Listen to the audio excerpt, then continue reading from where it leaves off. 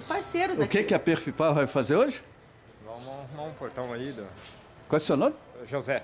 E o seu? Meu nome é Souzelei. Nós vamos tirar um portão aí que está com problema, vamos recuperar esse portão e colocar novamente, né?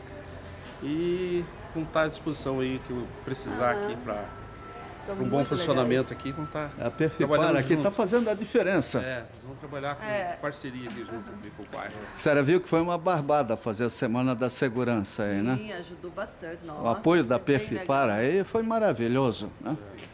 E vocês não abandonaram a escola, a comunidade, isso é melhor ainda, O né? legal foi a iniciativa deles, é, porque eles viram o, o problema, porque a porta é uma porta de ferro que está sendo corroída porque está ao, ao tempo, é. Aí eles que tomaram a iniciativa e vieram aí ajudar a gente. Isso que é legal. Legal. É legal. Amigos da escola. Sim.